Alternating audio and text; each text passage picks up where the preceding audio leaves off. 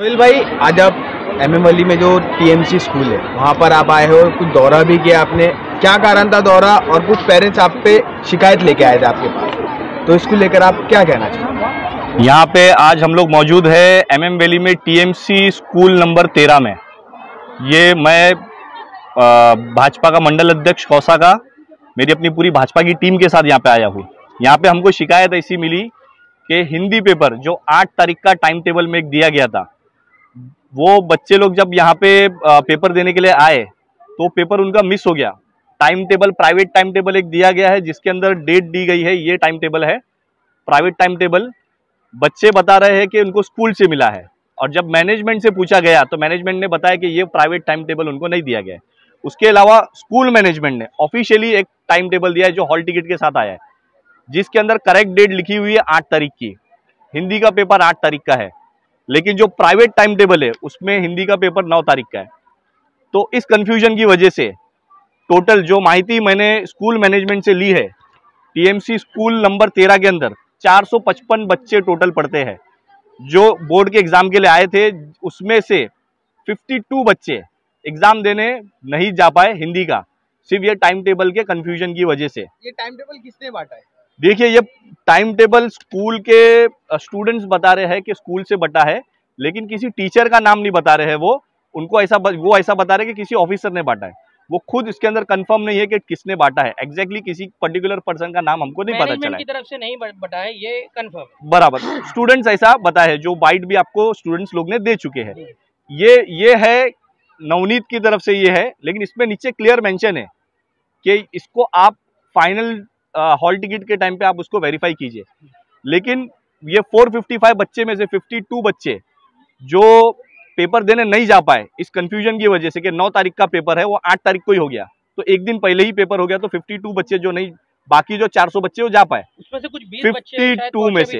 हाँ मैं वही बता रहा हूँ 52 बच्चों में से जब स्कूल मैनेजमेंट को यहाँ की टीएमसी स्कूल मैनेजमेंट को जब पता चला कि भाई इतने सारे स्टूडेंट नहीं जा पाए एक कंफ्यूजन की वजह से तो उन्होंने कॉल करना चालू किया। कॉल करके उन्होंने 20 बच्चों को फ़ोन करके सेंटर पे पहुँचने के लिए बोला और पेपर देने के लिए बोला। तो एक पॉजिटिव उनके एक अप्रोच की वजह से 20 बच्चे जा पाए। लेकिन एक बुरी बात यह है कि उसमें से अब 32 बच्चे नहीं जा पाए, जिनका फ्यूचर खराब हो सकता है कि वो ये ये साल फेल हो सकते हैं। तो उन 32 बच्चों के लिए अभी हमने स्कूल मैनेजमेंट से भी बात की है और एजुकेशन डिपार्टमेंट में भी बात की है कि इन बत्तीस स्टूडेंट्स का क्या किया जाए।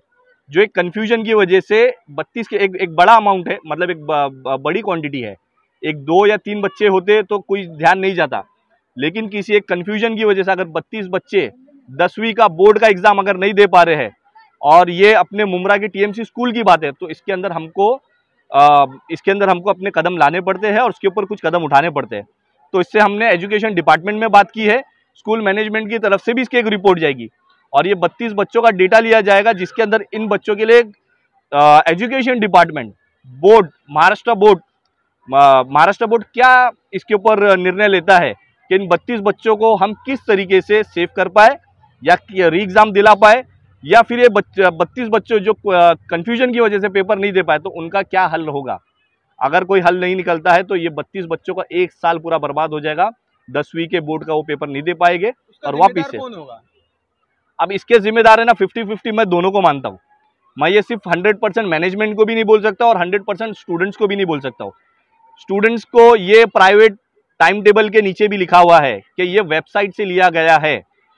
इन केस लास्ट टाइम पे अगर मुंबई बोर्ड महाराष्ट्र बोर्ड अगर इसको चेंज करता है तो आपको अपनी ओरिजिनल हॉल टिकट से आपको उसको उसको मान मानना पड़ेगा। वो लिखा हुआ है। हॉल टिकट पे जो टाइम टेबल है उसको मानना उसको मानना है। लेकिन कुछ बच्चे देखो एक होता है कि अगर आप प्राइवेटली अगर कोई चीज़ देते हो तो ये मेंशन करना ज़रूरी। यहाँ पे मैनेजमेंट की जो गलती हुई है मुझे जहाँ पे लगती है मैनेजमेंट की गलती यहाँ पे हुई है कि उन्होंने नोटिस बोर्ड पे उनके कोई भी नोटिस मेरे को टाइम टेबल की नहीं मिली।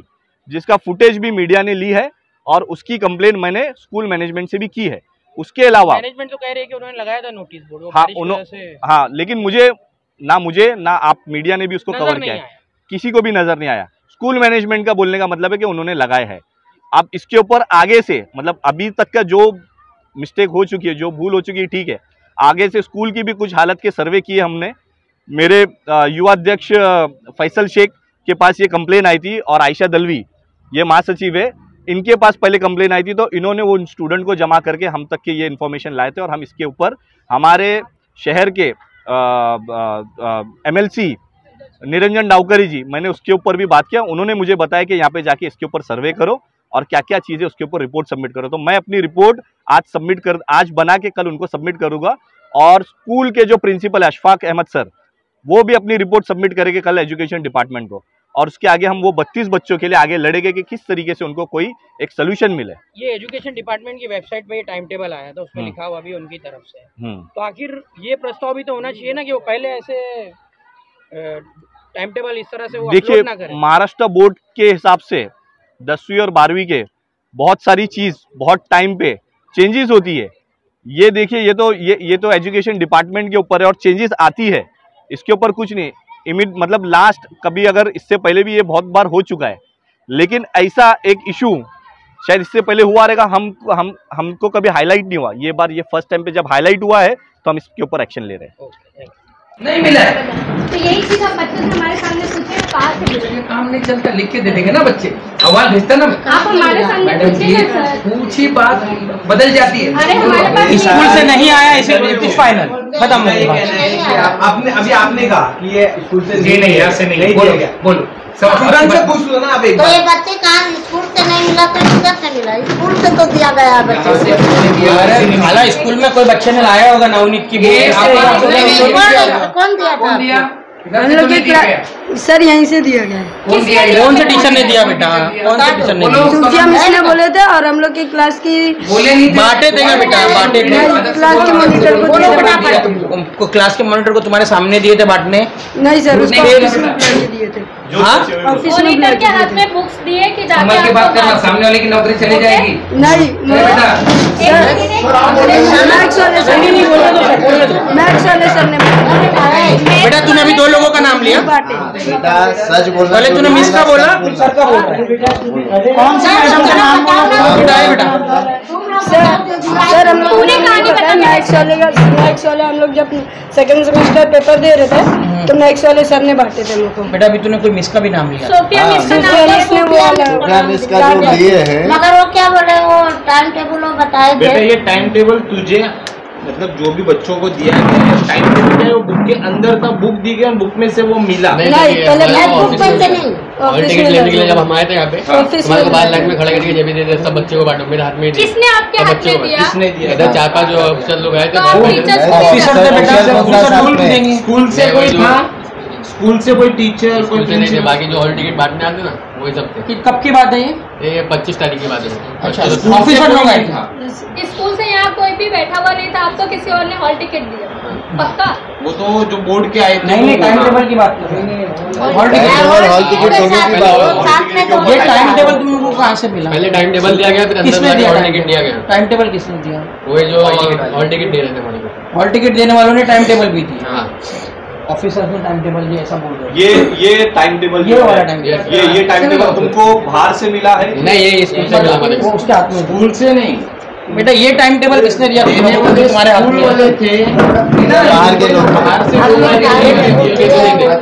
एक एक करके क्वेश्चन एक एक एक पहले रुक जा, एकदम रिलैक्स हो? जाता नाम क्या है। अच्छा। ये जो आपको नवनीत का जो टाइम टेबल मिला है ये किसने दिया आपके हाथ में?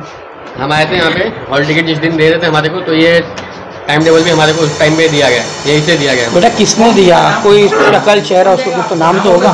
ऐसा हम उनको दोस्त ना देखते हैं उनका नाम याद रखेंगे। स्कूल के किसी टीचर ने नहीं दिया। ये हाँ बेटा ये ये ये बोल रहे तुमको किसने दिया ये। मेरे को वहीं से मिला था किसी किसने दिया था?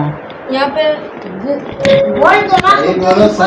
बेटा तेरे तीन बयान हो गए। अभी तो बोल रहा है स्कूल में क्लास में मिला? अरे अभी अरे सच बोलो जिधर भी मिला साफ़ साफ़ बोलो। हाँ बेटा जो है साफ़ साफ़ बोलो। साफ़ साफ़ बोलो। डरने की बात नहीं है यहाँ। डरने की इसमें कोई रिवायत नहीं है। हाँ। तुम लोगों को अगर नहीं मिला स्कूल से तो वो भी बोलो। अगर टी- किसी टीचर ने दिया है तो वो भी बोलो। कुछ तुम्हारा उसमें कुछ नहीं होना। बेटा एक बात बता। तूने हॉल टिकट पढ़ी पूरी? क्यों नहीं पढ़ी? हॉल टिकट जब तुझे दी गई थी तुम्हें भी दी गई थी तो हॉल टिकट में जो जो चीज़ें लिखी है तुमने उसको गो थ्रू किया था?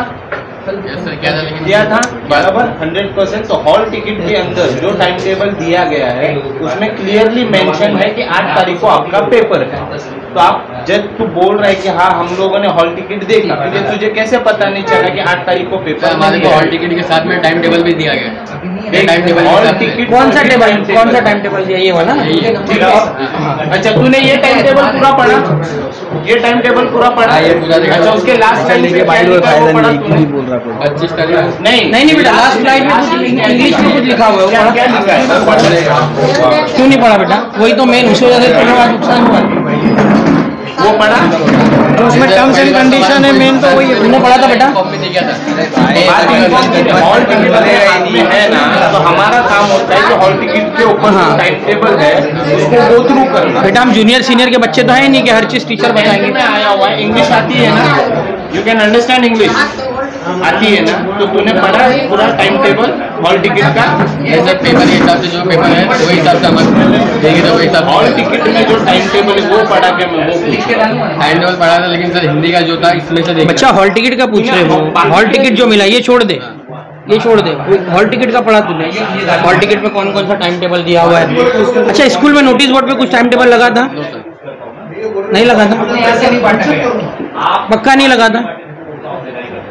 क्योंकि सर ने तो बोले लगाए हैं टाइम टेबल सर का बोलना था कि लगा हुआ है तो सर हमने नहीं देखा। तो हमारे को दिखा नहीं। तो ऐसा बोल बेटा तू तूने नहीं देखा वो बोल। लगा नहीं वो। क्योंकि यहाँ पे तुम्हारे टीचर्स का भी मामला है यहाँ पे। स्कूल में नोटिस बोर्ड जो लगाया जाता है ना बच्चों के लिए लगाया जाता है। कभी आप लोगों ने इस पर ध्यान दिया है?